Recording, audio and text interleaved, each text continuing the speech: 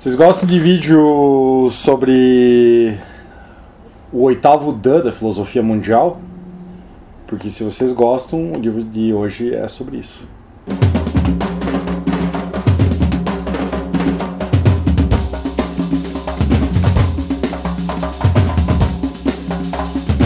Eu sempre me confundo, mas é. Vídeo de hoje é. E aí eu bato.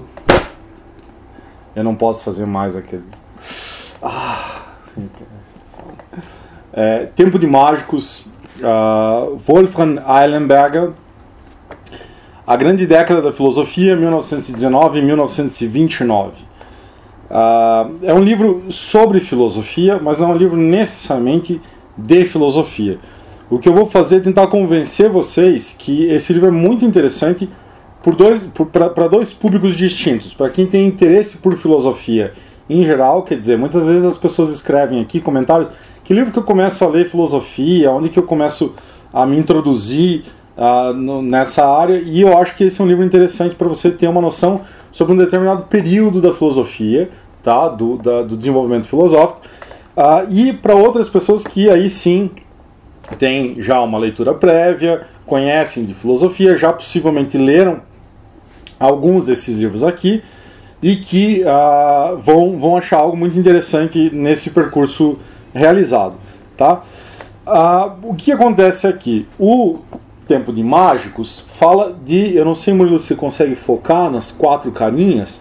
Uh, fala sobre o Walter Benjamin, o Martin Heidegger, o Ernest Cassirer e o Ludwig Wittgenstein. Ok?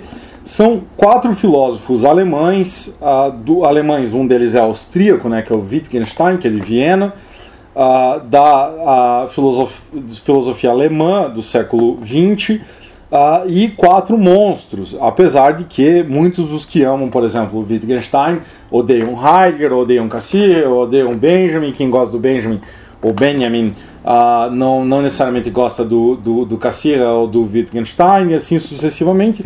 O que foi interessante é que ele trouxe esses quatro caras que estavam produzindo muito uh, no, na primeira metade do século XX. Uh, dois deles, que é o Wittgenstein e o Heidegger, são nomes importantíssimos para duas correntes da filosofia, que são conhecidas como a filosofia continental e a tradição ou filosofia analítica.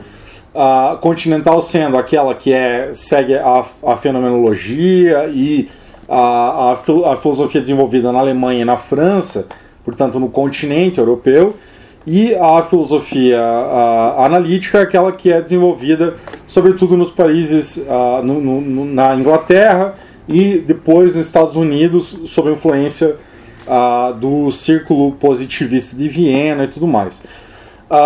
Que é a tal da filosofia da linguagem? Que é a filosofia da linguagem, que é a filosofia da linguagem que aparece, que, que aparece fortemente com Wittgenstein e que depois se desenvolve com nomes como Carnap, por exemplo, uh, e uma, sé uma série de outros filósofos que estão uh, que por vezes mudam para os Estados Unidos por causa da guerra e que aí tem um desenvolvimento próprio acontecendo lá nos Estados Unidos e na Inglaterra.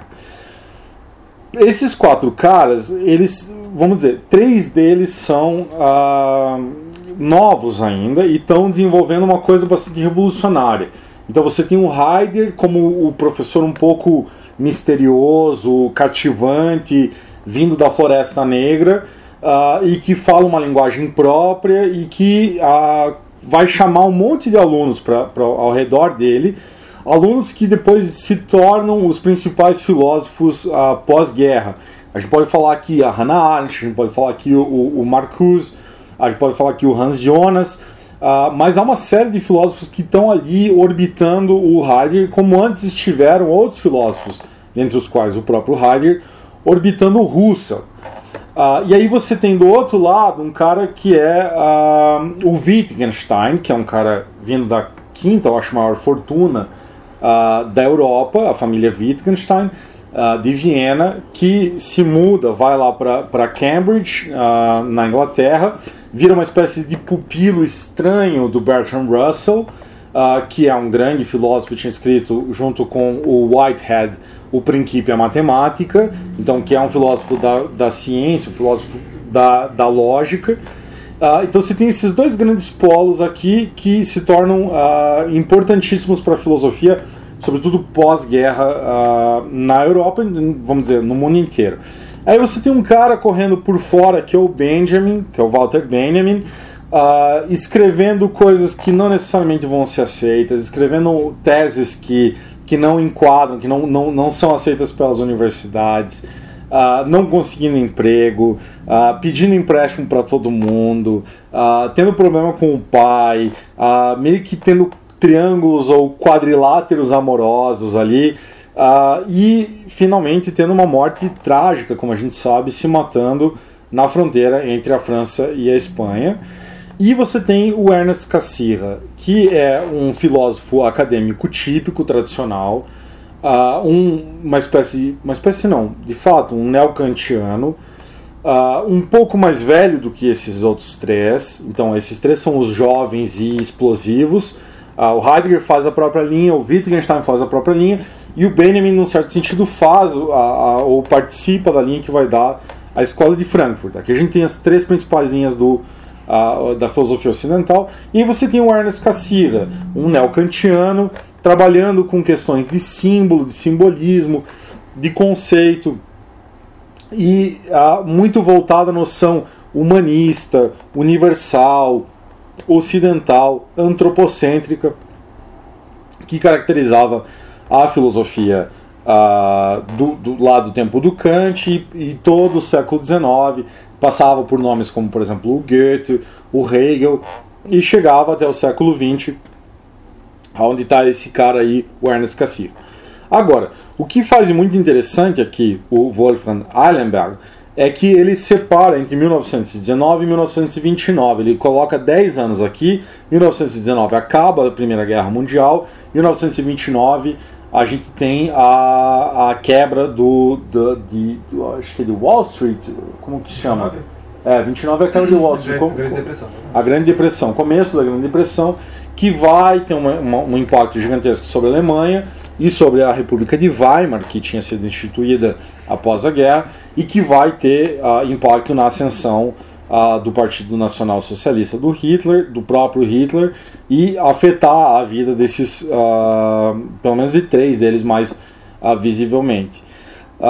1919 e 1929 você também vê, e isso é interessante, o percurso desses quatro pensadores na formação do pensamento deles. Então você encontra os quatro mais ou menos trabalhando retrabalhando as obras uh, deles, as obras principais, uh, e desenvolvendo em relação a um contexto, tanto pessoal particular quanto uh, social, o, essa filosofia. O que é muito interessante é que cada capítulo ele começa com um cara com um deles e ele vai indo para outro. Ó, enquanto o Cassira estava fazendo isso, o Benjamin estava fazendo isso, o Wittgenstein estava fazendo tal e tal. E nisso você consegue ver um certo desenvolvimento que torna a coisa muito, muito fluida, muito dinâmica, muito gostosa de ler. É um livro de umas 400 páginas e, no entanto, você, eu pelo menos li muito rápido, assim. Uh, porque tem esse, esse caráter, uh, não vou dizer didático, mas narrativo mesmo, assim, que é interessante. Uma outra coisa é, e aí para quem tem um interesse, para quem já leu, para quem tem interesse, não é só estar se introduzindo à filosofia, mas já tem alguma leitura, ah, quando ele fala desses filósofos e quando ele fala sobretudo dos textos, então do Wittgenstein ele comenta o Tractatus, né, o Tratatus Lógico-Filosóficos. Do Heidegger ele comenta vários textos, mas ele vai chegar, como a gente sabe, ao Ser e Tempo, que é de 27. Isso é muito importante que ele chegue lá uh, que é a principal obra do Heidegger. Ao Benjamin ele vai chegar a uma série de obras, então ele vai passar pelo o, o trágico uh, ou o drama uh, barroco, ele vai passar sobre o, o, texto do Benjamin sobre o Goethe e as afinidades elitivas do Goethe, ele vai passar sobre o, o ele vai mencionar a questão das, das formas simbólicas, quando ele trata todos esses livros e todos esses textos e os conceitos filosóficos, ele o faz de uma maneira muito, muito precisa. Quer dizer, ele não está popularizando a filosofia, ele não está simplificando a filosofia. Há, inclusive, trechos que, para quem não tem o conhecimento prévio dessa discussão, uh, que podem parecer um pouco áridos, porque ele vai e cita, olha, na proposição tal do Tratatus, no texto tal do Heidegger, uh, em tal uh, prefácio, introdução do Benjamin, ele está falando isso, isso, isso, e ele faz uma análise hermenêutica interpretativa que não deve nada em termos de precisão filosófica. Isso tudo feito em meio a dizer pra gente, em meio a contar pra gente, olha, o Benjamin estava escrevendo isso quando ele foi para Capri e conheceu lá o que seria uma espécie de amante dele, uma mulher que já era casada, o próprio Benjamin era casado. Uh, fala a mesma coisa do Heidegger, uh, de que a mulher do Heidegger teve um caso uh, extraconjugal que teve por consequência um filho do Heidegger, que o Heidegger escreve uma carta, ele menciona essa carta, dizendo: não, isso tudo é muito burguês, não importa, importa é o nosso amor, o nosso relacionamento. Fala da relação extraconjugal do próprio Heidegger com a Hannah Arendt, fala de, do comportamento, por exemplo, e de, uma, de uma certa identificação de um traço antissemitista contra a mulher do Cassira e contra o próprio Cassira, fala da relação do Cassira uh, com o Warburg e com a biblioteca Warburg, que é uma coisa importantíssima na cultura a alemã da primeira metade do século XX, hoje está em Londres, o Instituto Warburg, e que formou uma série de pensadores, e continua a formar, na verdade, uma série de pensadores, e fala uh, sobre as, as peculiaridades, para dizer no mínimo, uh, do, do Wittgenstein, esse cara rico, genial, e que mais ou menos nesse período já tinha concluído a obra dele, o Tratatus, escrita na Primeira Guerra Mundial, e que ah, então tem o processo de ter ela publicada e de revisar a própria obra, de revisitar os próprios pensamentos e ao mesmo tempo de estar, tá, sei lá, como professor de uma escolinha de formação no meio da montanha da Áustria, ah, lidando com crianças camponesas e tudo mais.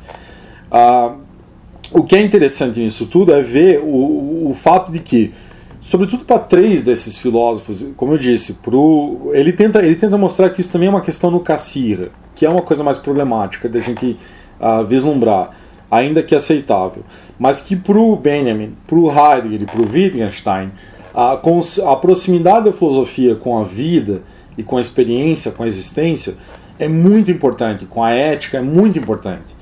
Uh, e ao fazer esse percurso de 1919 a 1929, ele acaba demonstrando como as filosofias que consideram questões de vida, de existência, subjetividade, vamos colocar isso aqui muito entre aspas, uh, e de idiosincrasias, como elas penetram também na filosofia deles uh, e como não estão distantes, como elas estão sempre há um desenvolvimento muito equivalente entre o, espaço temporal, o espaço geográfico e a produção filosófica.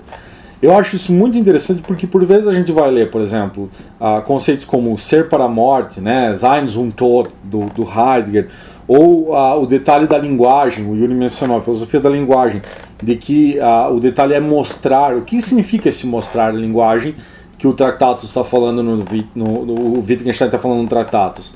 Uh, e quando você percebe o, a seriedade que o Wittgenstein trata certas questões éticas, as cartas que ele troca, aonde ele se encontra, a preocupação que ele tem em se fazer uh, ouvir, em se fazer entender, em se fazer uh, comunicar, e, e, no entanto não ser capaz de fazê-lo, como isso tudo passa por aquela própria noção de vida, de existência que está na margem uh, que está margeando e sendo ao mesmo tempo o epicentro de todos esses filósofos. Uh, nesse sentido é muito interessante a gente ver. Em 1919 acaba a guerra, em 1929 a gente tem o crash da, da bolsa. Uh, nesses 10 anos, esses caras produzem muito uh, em reflexo à, Primeira Guerra Mundial e já, de uma certa maneira, antecipando coisas que vão aparecer uh, na Segunda Guerra Mundial e no pós-guerra. Uh, então, nesse, é muito interessante a gente poder perceber isso enquanto movimento. Ter um outsider, que poderia ser um outsider, que é esse cara extremamente acadêmico, extremamente burguês, extremamente sério, que é o, é o Cassira. E aí o, o livro começa e termina com a conferência de Davos, que é uma conferência onde está o Heidegger e o Cassira frente a frente, debatendo, e aonde você vê a, a força da nova filosofia, que seria a do Heidegger, uma filosofia explosiva que atrairia muita atenção, e a filosofia clássica do Cassira, uh, e aí mostra os detalhes, inclusive. O Cassira está meio doente, ele está meio gripado, ele mal saiu do quarto, enquanto o Heidegger está esquiando com as pessoas nas montanhas, ele é selvagem, ele é a própria potência de vida. Uh, e o Cassira é esse senhor um pouco mais velho, doente, gripado, alterado pela mudança, pelo, por ter ido às montanhas e tudo mais. Ele era reitor da universidade? Era reitor da universidade, como depois logo o Heidegger vai ser reitor também, vai fazer aqueles programinhas nazistas que a gente sabe, né? Uh, e, e, você vê isso, você vê a luta, por exemplo, do Heidegger por ter uma posição uh, como professor. Você vê o Cassirer sendo disputado entre Frankfurt e, e, e em Hamburgo, para ver qual que a universidade vai comprar o passe dele. É quase como se ele fosse o, uma espécie de é, jogador da NBA ou NFL diz: Eu vou levar o meu talento para esse lugar, assim, quando o cara é passe livre. É, é interessante isso, você vê isso na época. E ao mesmo tempo, o Benjamin, ah, meio, meio puto com o Heidegger, quer dizer, não, não vendo que o Heidegger está conseguindo os, os empregos antes que ele se movimentando para ir lá conseguir também uh, falar com o Cassir para ter um emprego, aí indo para perto pensando, não, eu tenho que falar com o Jaspers, que é um outro grande nome dessa época, uh, que aparece muitas vezes aqui em relação a vários desses pensadores, e fala, eu tenho que falar com o Jaspers, ele não vai, aí ele não consegue, ele pega empréstimo, fica devendo e tal. Uh, você, você vê todo esse cenário sem perder de novo, sem perder a, a precisão filosófica quando ele trata da precisão filosófica. Ele não está o tempo todo falando de filosofia, ele muitas vezes está falando sim de questões uh, pontuais da vida desses caras, quer dizer, com quem eles saíam, com uh, como eles uh, se eram monogâmicos ou poligâmicos, se eram burgueses ou mais vinculados a, sei lá, um, um, povo do campo ou, ou um, um completo citadino urbano uh, como é o caso do Benjamin, ou um cara extremamente rico, como é o caso do Wittgenstein. Uh, ele faz tudo isso, ele sabe dosar muito bem uh, quando ele está falando da pessoa e quando ele está falando da filosofia. E em nenhum momento ele faz, e eu acho que esse é um dos grandes trunfos do livro, ele não faz um biografismo, tá? ele não faz um psicologismo, ele não faz parecer com que uh, um, o Heidegger ter sido traído ou o Benjamin se apaixonar por uma mulher e ao mesmo tempo a, a esposa dele uh, ter um caso aberto, publicamente aberto com outro cara, eles não ele, o, o, o Wolfgang Eilenberg não faz parecer como se isso afetasse diretamente numa razão determinista a filosofia desses caras. Ele mostra, não, veja, isso tem um contexto, isso tem uma importância e, no entanto, a filosofia deles acontece dessa e dessa e dessa maneira. Por vezes ela toca esse contexto, por vezes a filosofia tem influência por parte desse contexto social, cultural, pessoal, por vezes não. Por vezes ela está respondendo a questões eminentemente filosóficas e pertencentes à tradição filosófica, o que é uh, mais interessante nesse caso. Então, uh, o grande pecado, o grande problema que ele poderia uh, incorrer aqui, ele não incorre, o que é genial, o que é fantástico e torna a coisa toda muito palatável, tá? É importante dizer, eu acho que me, me, me, pegou bastante, é de que dos quatro, eu falei, o Cassir é o, é o, parece o outsider, né? Porque é um pouco mais velho, porque já é estabelecido, porque é um professor já reconhecido, que vai virar reitor, que, vai, que tem um, esse estilo de vida mais burguês. Ah, mas também há que se reconhecer que da produção dos quatro, Três estão acontecendo a produção justamente entre 19 e 29, que é o Benjamin, que é o Heidegger e o, e o, e o que está escrevendo a, a, os, a obra dele ali nesse período. E o Wittgenstein escreve o Tratatus e as investigações depois, antes e depois desse período de 10 anos. Então o que a gente tem do Wittgenstein aqui é os reflexos do Tractatus e a, o salto para o que vai ser depois as investigações e os cursos que ele dá em Cambridge e tudo mais. Então, isso também é um, é um detalhe. O, o, em termos de produção filosófica, o Wittgenstein é o cara que está um pouco uh, apartado. Em termos gerais, cara, excelente leitura, é, excelente escolha de publicação. Gostei muito. Aqui no final tem o, o, o Safransky, que é um, é um, importante biógrafo e comentador lá da Alemanha. O Hans Ulrich Gumbrecht, uh, que é um professor, sabe português ele, inclusive. Eu troquei e-mail com ele. Uh, e mora, acho que está em Stanford, foi professor em Stanford de literatura e de filosofia. Uh, é, é, um cara muito interessante, tem obras publicadas no Brasil. Eles elogiando o livro, quer dizer, é um livro de fato interessante. De novo, para quem está se introduzindo na filosofia e, e, tem ah, já teve gente que me escreveu isso, ah, o que, que eu leio da filosofia do século XX para entender aquele período, onde está o Thomas Mann, onde está o Musil, onde está o Kafka vocês querem entender mais ou menos o que está rolando? Esse aqui é um livro interessante para fazer isso. Para quem já gosta, já tem conhecimento, já está ali, mesmo, sei lá, o cara está mestrado, doutorado, né? grande, grande sabedoria, grandes títulos. Ah, faz uma baita diferença no mercado de trabalho. Ah, vida é minha, meu desemprego.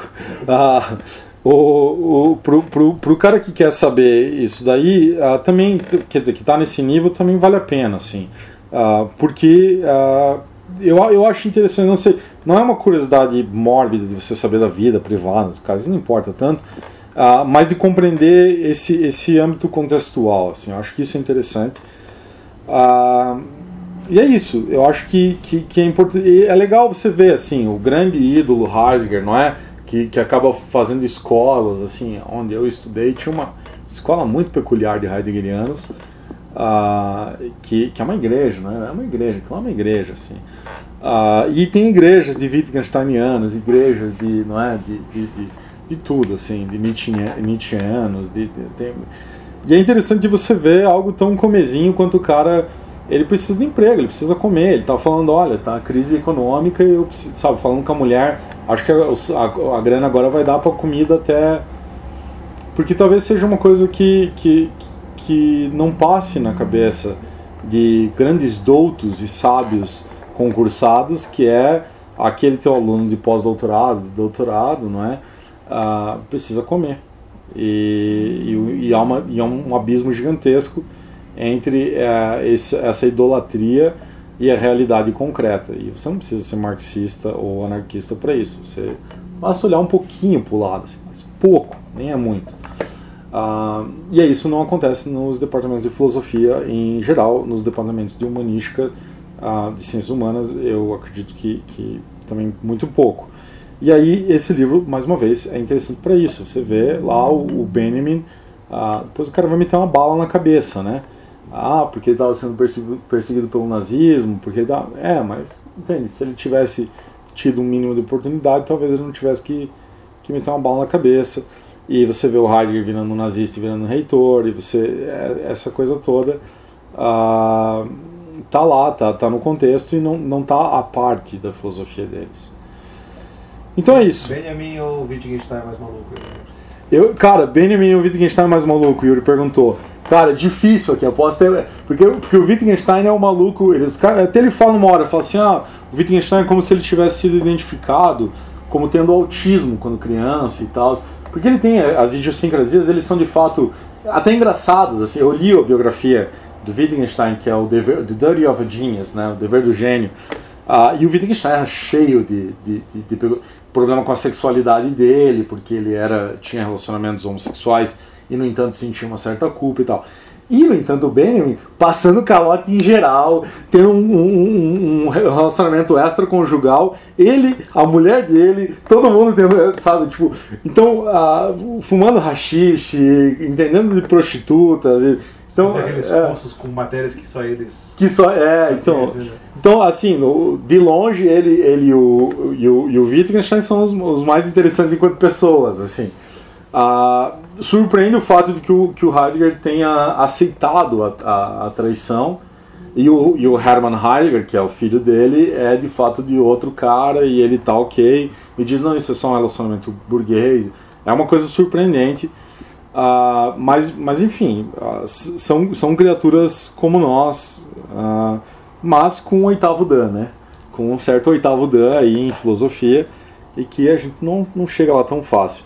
Então é isso. fica aqui a recomendação. De novo, não se assustem, 400 páginas, mas são bem fáceis de ler. como é? Inscrevam-se no canal, deem um, apertem um botão lá que dá esse, esse símbolo.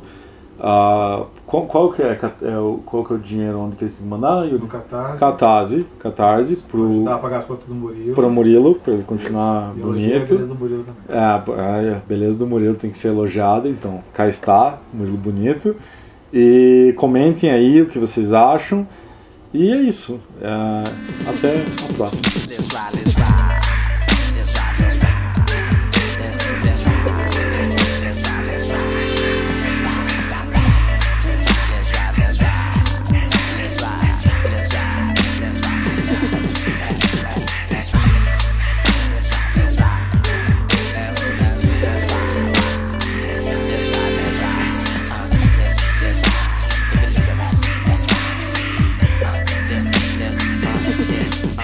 Amsterdam